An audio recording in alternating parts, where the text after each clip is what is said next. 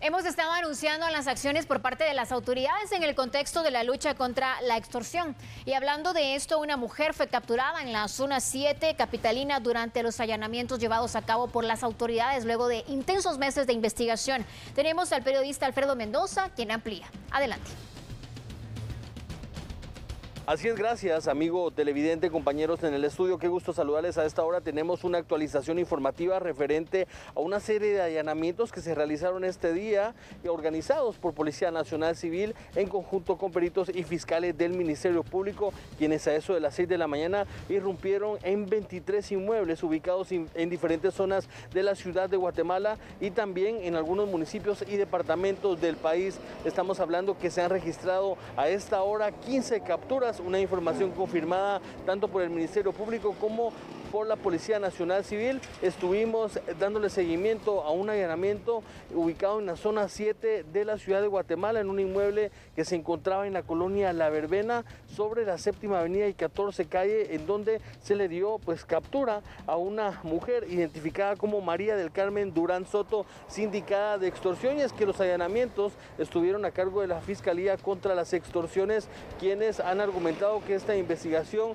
y estas diligencias pues son a consecuencia de una investigación que vincula a diversas personas con una red que extorsionaba a comerciantes. También se realizaron eh, pues, allanamientos en ocho inmuebles ubicados en la zona 18, en dos inmuebles ubicados en el municipio de San José Pinula, en un inmueble ubicado en Santa Catarina Pinula, al igual que se allanaron siete inmuebles en el municipio de Villacanales, tres más en el municipio de Amatitlán y uno en el departamento de Jalapa. Como resultado, pues son estas 15 eh, pues, detenciones aprehensiones que se han dado a esta hora de la mañana, pues ya se ha concretado esta cifra y pues las personas fueron trasladadas ya hacia la torre de tribunales en el caso de la ciudad de Guatemala y bien, pues las personas que fueron capturadas en los municipios o departamentos fueron llevadas al juzgado correspondiente. Asimismo, pues indicarles que estuvimos muy de cerca dándole seguimiento al allanamiento que se realizó en la colonia La Verbena y ustedes están observando imágenes de esta mujer, pues cómo es trasladada hacia eh, pues torre de tribunales.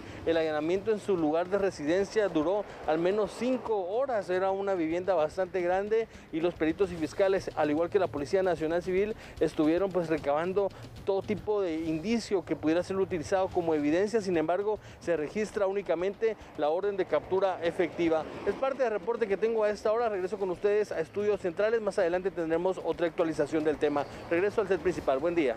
Buen día para ti también. Gracias, Alfredo, por la información. Estaremos pendientes eh, pues darle a usted el seguimiento eh, pues de estas cifras de mujeres que se siguen sumando a los sectores